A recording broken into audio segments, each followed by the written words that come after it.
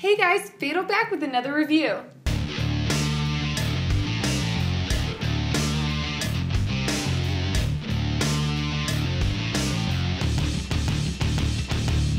Isn't it sad that Manny doesn't get his own intro? But anyways, Manny's here today with me to review a UTG pistol belt. So, this pistol belt from UTG is law enforcement quality, which means it's made out of very thick material. This pistol belt comes with two magazine pouches located on either side of the belt that can be removed, changed, or moved.